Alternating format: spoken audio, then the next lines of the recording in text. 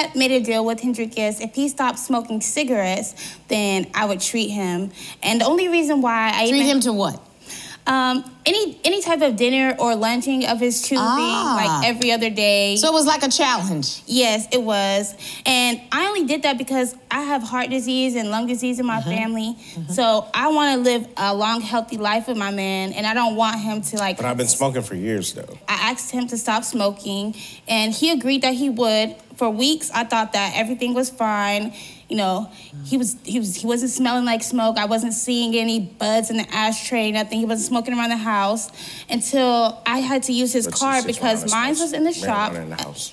And I went in his, his glove box and it was full of empty cigarette boxes. It smelled like a smokehouse.